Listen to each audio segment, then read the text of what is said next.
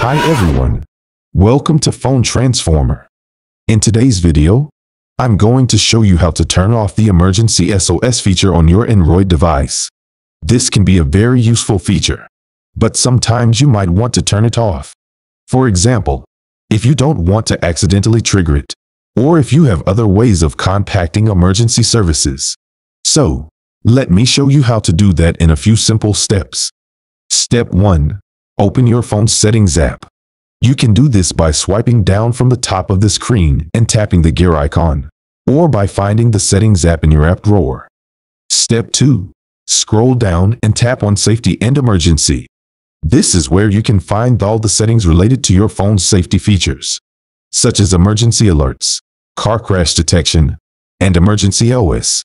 Step 3. Tap on Emergency SOS. This will open a screen that shows you how the feature works and how you can customize it. Step 4. Under how it works, tap the settings icon. This will take you to another screen where you can turn off the feature completely or change how it is activated. Step 5. Tap turn off emergency SOS. This will disable the feature and you will no longer be able to call for help by using the power or volume buttons. You can always turn it back on if you change your mind later. And that's it.